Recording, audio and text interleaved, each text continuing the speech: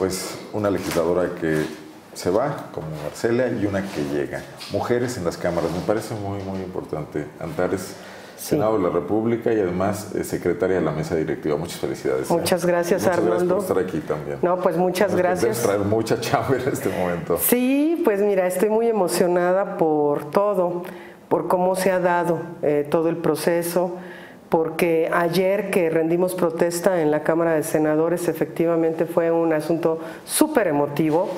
Yo les decía a mis compañeros y compañeras que estaba así al borde del llanto, porque a la hora que estábamos cantando el himno nacional, eh, pues me vienen a la mente muchos recuerdos de cuando lo hemos cantado en, en la derrota, en las plazas públicas, en la indignación y ahora cantarlo desde la victoria y desde la máxima tribuna de este país, eh, recordando pues las luchas de tantos, tantas décadas de tantos, haber escuchado a la maestra Ifigenia Martínez hacer un discurso a sus 92 años, un discurso nítido de, de una gente que ha luchado durante muchas décadas.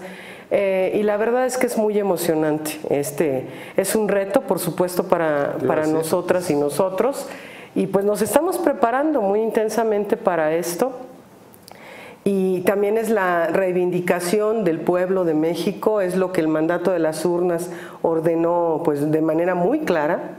Y pues eh, pretendemos efectivamente ser la voz de los que nunca han sido escuchados. ¿Con qué agenda arranca el Senado, Ustedes pues van a plantear los ritmos y todo, la mayoría morena y sus aliados. Mira, tenemos varias cuestiones que tenemos que empujar fuertemente. En este primer momento vamos a ver porque hay, hay un acuerdo para que Peña Nieto presente una iniciativa preferente para eh, la creación de la Secretaría de Seguridad Pública, que es un asunto fundamental.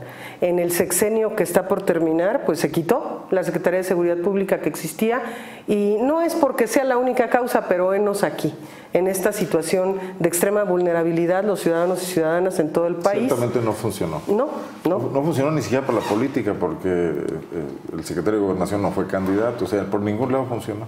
No, no funcionó y además es horrendo que ese tipo de decisiones impacten en la toma de vidas, porque son vidas de personas que no tendrían por qué morir. Todos sabemos que nos vamos a morir un día, pero no así. Es decir, nadie tiene derecho a arrebatar la vida de nadie. Y esto es, terrible, estamos llegando a un extremo de violencia pavoroso. Tenemos también en la agenda eh, las tareas fundamentales para la transformación del país, para lo que los ciudadanos han buscado. Queremos eh, fortalecer la democracia mexicana que está, sigue siendo incipiente, pero favorecer estas eh, cuestiones de manera muy enfática, los derechos humanos.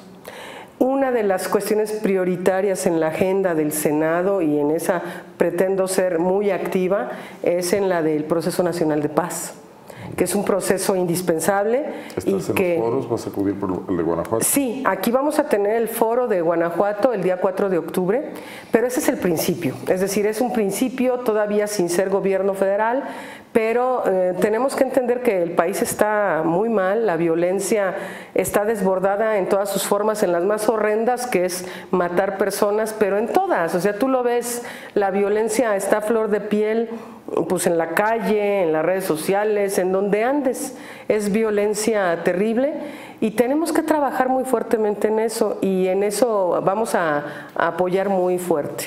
Dijo Andrés Manuel que el ejército no se ha retirado de las calles, entiendo que por el momento, eh, pero la creación de la Secretaría de Seguridad tendería a volver otra vez civil la lucha, sacar a los militares de la lucha contra La idea es que efectivamente eh, el ejército y la marina no es que eh, los vayamos a quitar de inmediato o que tengamos algo en contra de las Fuerzas Armadas del país, pero sus funciones no son de policía, no, no es su propósito. Ahora, eh, nos decían, primero nos critican porque dijimos que íbamos a sacar el ejército de las calles y ahora porque se dice que se va a posponer también.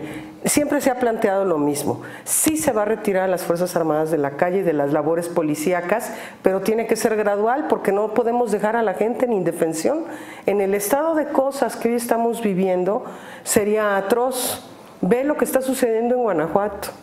Estamos esto es insostenible, es insostenible. Hemos visto cómo no hay ninguna estrategia de seguridad porque han dicho que hay y que la verdad es que no hay una estrategia de seguridad. Y esto ha costado ya miles de vidas de guanajuatenses. Oye, a ver, una cosa que está en el, en el ánimo de la preocupación y de todos, no solamente de los que son eh, eh, excesivamente críticos o antimorenistas.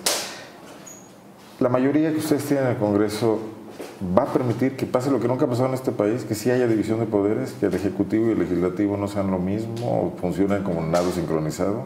No. A ver, tú que estás ahí. Nosotros claramente tenemos una agenda que, por supuesto, pasa por lo que hemos hablado.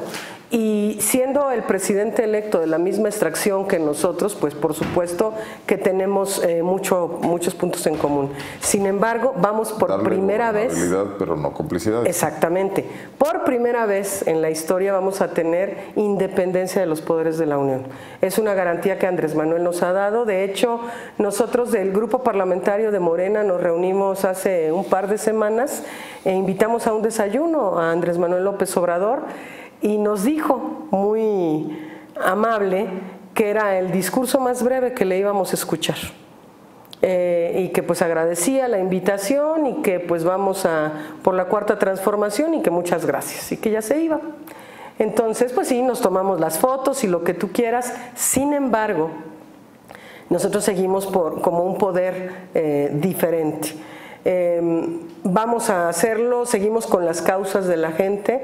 Esto que decía la maestra Ifigenia Martínez ayer es la primera vez que el Congreso de la Unión es eh, un Congreso de izquierda y eso tiene una connotación especial en cuanto a la representatividad de la gente y en cuanto a las causas que nosotros hemos tenido históricamente y que vamos a reivindicar.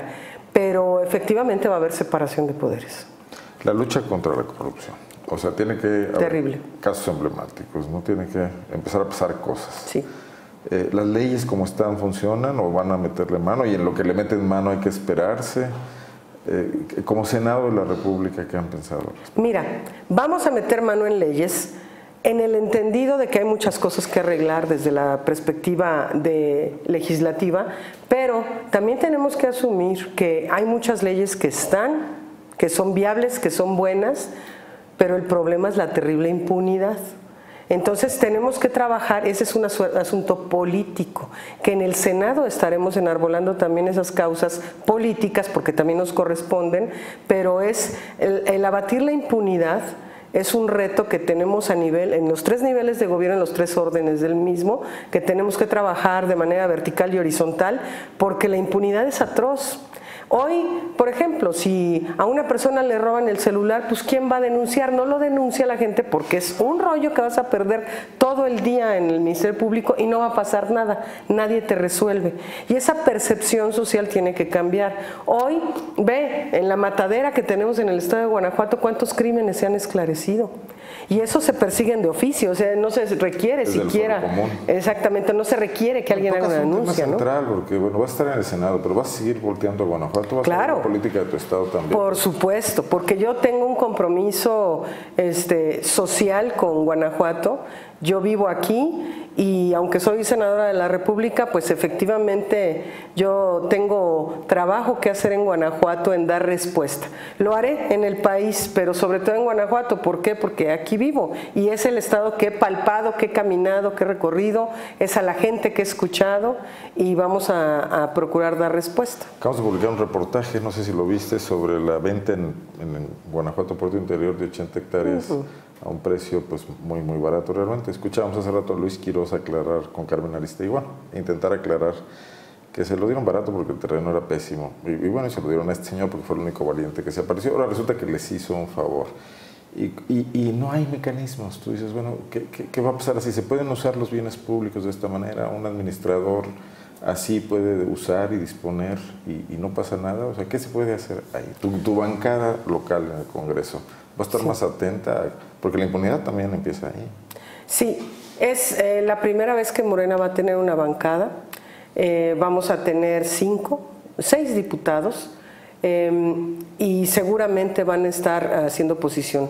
Se va a hacer revisión de la cuenta pública del Estado, porque no puede ser, no puede ser. Este tipo de eh, es tan común, es así como que el común denominador de los últimos, al menos de los últimos dos gobiernos eh, estatales, eh, la opacidad, el disfraz, las empresas fantasmas, los vericuetos de negocios al amparo el del poder. comunicación social, el control de los medios de Sí, pero ¿estás de acuerdo que son puras empresas fantasma? ¿Van a legislar en tema de gasto publicitario? Sí, bueno, nosotros en materia de gasto publicitario vamos a aplicar medidas de inicio antes de legislarlas. Por ejemplo, en el Senado de la República ahorita hay un presupuesto, un proyecto de presupuesto para el próximo año de 5 millones 200 mil, 5 mil 200 millones de pesos para la operación del Senado.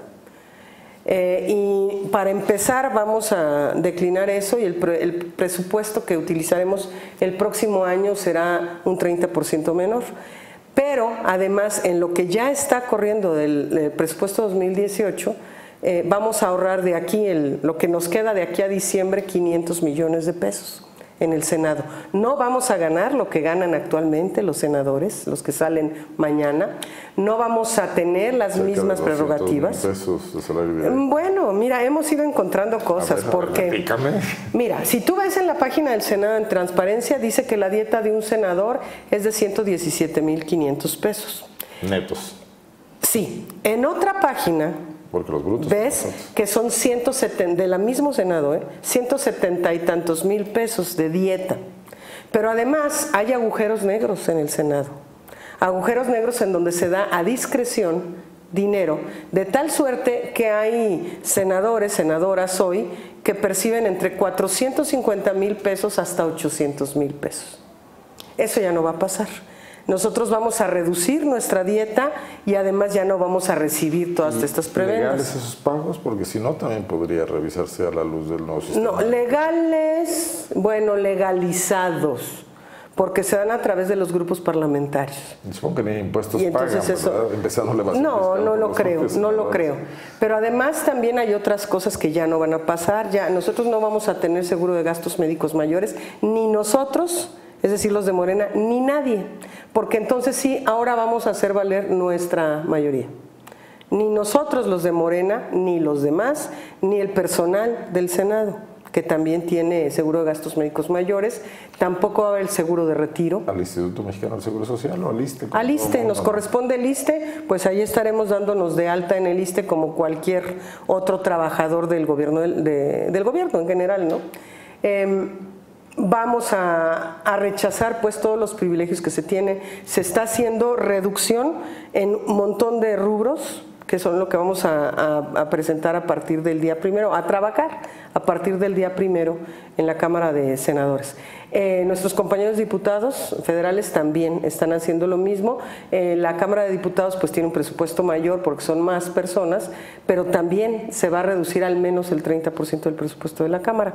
Estas son cosas de inicio y además vamos a empezar a trabajar en otras en otros huecos que hay en otras partes y tenemos que estar haciendo acotando legalmente eh, también las, eh, todo el asunto de corrupción, todos los agujeros esos que se permiten para las corruptelas. Porque no podemos seguir tolerando la supuesta transparencia. Aquí hay una secretaría específica para eso que ha servido en realidad como una pantalla para el gobierno del Estado. Entonces tenemos que estar acotando. Además vamos a trabajar legislativamente también para que eh, la corrupción sea un delito grave, que no se pueda solventar confianza. Bueno. Eh, y, que, y, que, las instancias investiguen, porque luego presentas una ah, denuncia y te, acaban de presentar una denuncia, nos decían los ciudadanos sobre el tema que publicamos de gastos en comunicación social de empresas fantasmas la Secretaría de la Transparencia dijo, preséntenos pruebas. No, pues la chamba de ustedes es investigar, ustedes le pagan por investigar, ¿no? No a mí pues que soy ciudadano, que no tengo tiempo ni herramientas. Bueno, el tema de tu presencia en la mesa directiva como secretario, ¿qué, ¿qué, tanta chamba te da, te quita? ¿Por qué esta presencia ahí? ¿Es un honor para Guanajuato? Platícame eso. Pues es un honor para Morena y es un honor para mí y para todos, porque efectivamente es la primera vez que Morena va a tener un grupo parlamentario en el Senado y estar en la primera mesa directiva del Senado, pues para mí es un reto y es un honor.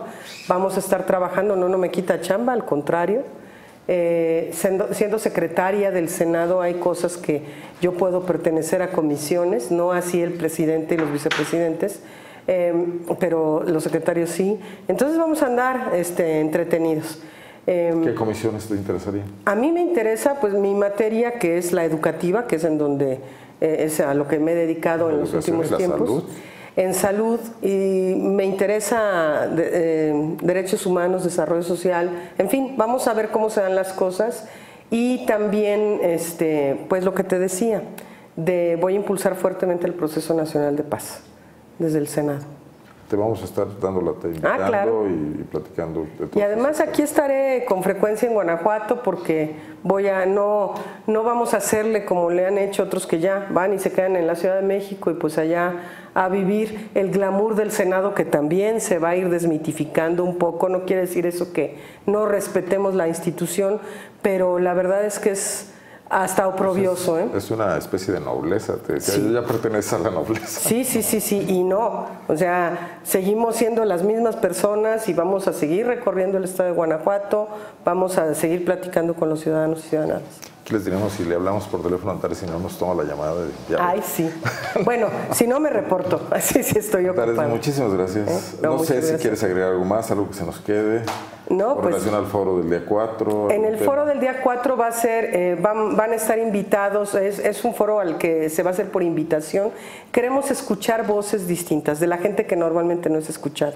Por supuesto, víctimas pero hay de víctimas a víctimas, es decir, de víctimas de los crímenes más sensibles, horrendos, de pérdida de un familiar o algo, pero también eres víctima si eres violentado de cualquier forma, este, porque te robaron, te un cristalazo en tu coche. Las chicas que en la Universidad de Guanajuato sí, claro. sexual. Y la idea no es propiamente que sea un foro de catarsis sino es un foro de propuesta. Queremos escuchar lo que la gente tenga que decir en materia de qué propone la sociedad para mejorar las condiciones de, seguridad y también para favorecer la paz.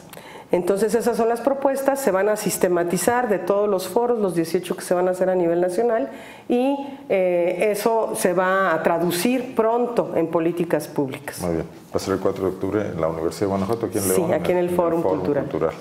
Estaremos atentos, Antares, y también, eh, como siempre, en contacto. Muchísimas muchas gracias. Arnoldo. Felicidades, mañana protestas.